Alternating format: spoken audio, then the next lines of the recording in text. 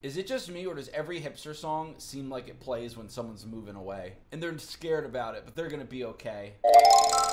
Well, howdy, dowdy do. Hello, everyone. We are back. Hall & Oates, Steve Miller Band, Simon and Garfunkel. Ooh. Hello, darkness, my old. Children's show theme song style, a la Caillou. I don't know Caillou. Is that the little bald, that little skinhead? Chill hipster folk. I like that. Let's just see what chill hipster folk sounds like. Done. I've been told this in the past that I run a little hot. I'm a little excitable, a little wired, a little edgy even. Let's do some chill hipster folk. Let's get that timer going. Sorry, I gotta be chill. You guys see me have a panic attack daily. Let's get a guitar. We're gonna do folky chords, which are just kind of dumb. Here's like a regular chord. Everyone knows what that is. Hi, I'm a G. Hi, I'm a C. But then some hipsters had to come in and be like, I imagine hipster has some kind of nice soft organ. My dad. New audio track. Bass. The upright bass, while my favorite bass, is probably also the most hipster of all the basses. The kalamba. Karimba. When we're talking hips, Hello, darkness, my old. when we're talking hipster, we're not talking about beatniks. We're not talking about some some angsty word poets back in the day. We're talking about some college kids who don't want to put the effort in to really learn their instrument. That means hand percussion is a must. We got some maracas. Okay, let's add some tambourine, some tambourine. It's tambourine. Let's add some tambourine. Let's add some ukulele. I'm anti-uke. I should probably have a uke. I could just buy one. They're ten dollars. We gotta do vocals like now. We have three minutes to do vocals. Hipster vocals are easy. You just act like you've never sang before, and you're very sad, but you're also happy because you're alive. If you've got a structure, that how's that sound?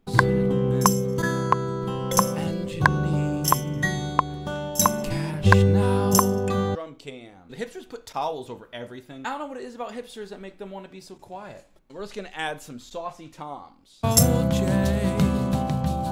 Buzzer beater while singing, so it counts. Yeah, what do you guys want to title this? Before Cash was cool? I like that. The J.G. Wentworth Hipster Folk Edition. Let's see how we did.